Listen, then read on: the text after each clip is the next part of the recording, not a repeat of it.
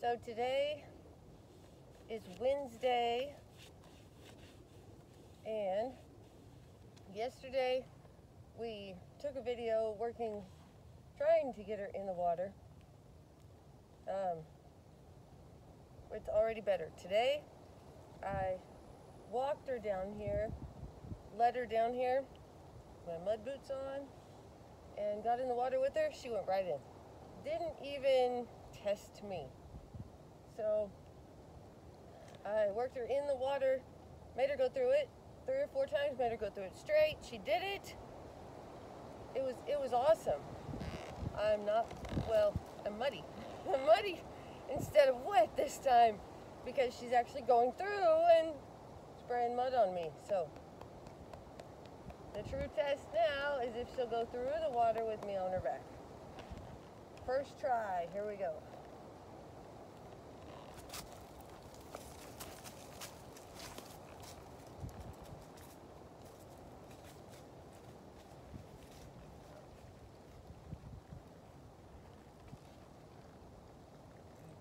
Stop and think, don't rush.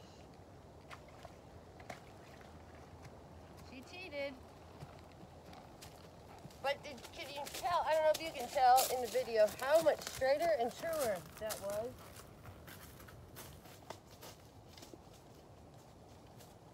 That was much better. So I'm gonna do a little more this time. My leg. Woo-hoo! I heard all four feet go through there. Good mare. Good mare.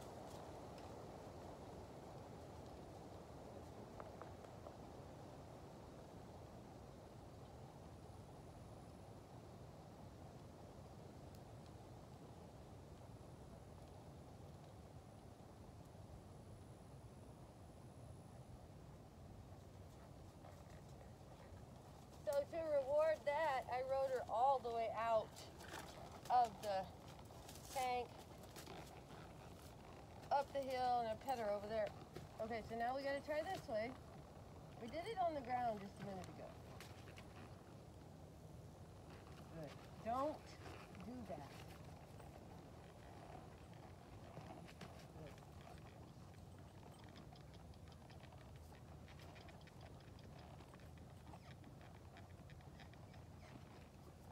Thank you. Move your feet. There. See, if I get her to go forward. There.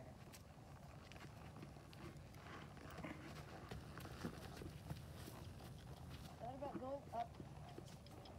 There. You see how she scoots her body away?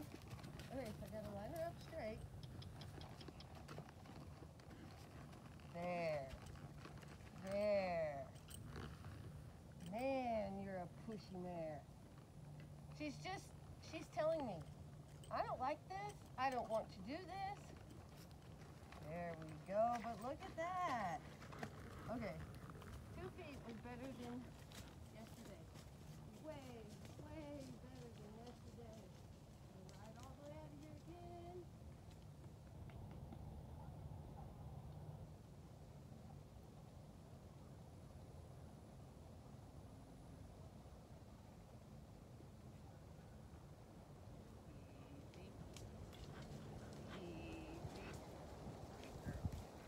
Let's see if I can block this left side right in the water.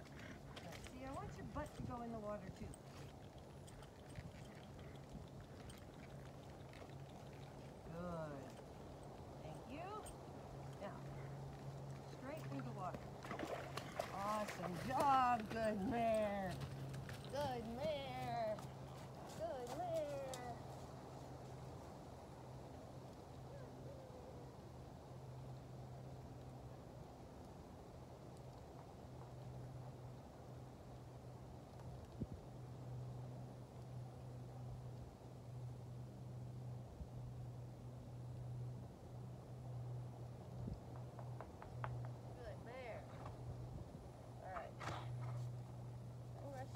Now, if I can sit her up to go straight through the water, starting out, but part of the problem is she doesn't have an eye on the left side of her body, so she can't see the water when we come up at it like that. Good. Whoa, we're not rushing. Whoa. Horse is not scared of the water. She doesn't want to go through the water. Good. She's being obstinate. Good. A lot of right leg. Okay. We're circling back and doing it again.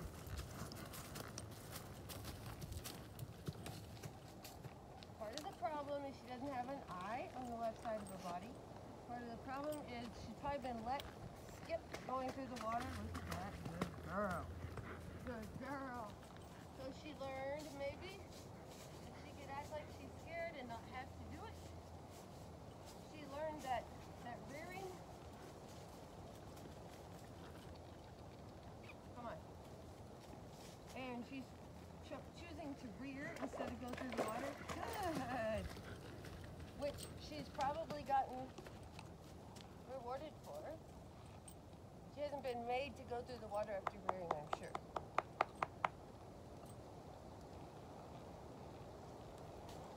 Pretty intimidating, and that's her goal is to intimidate when she rears like that. Good girl. Good girl. Right, right, right, right, right, right.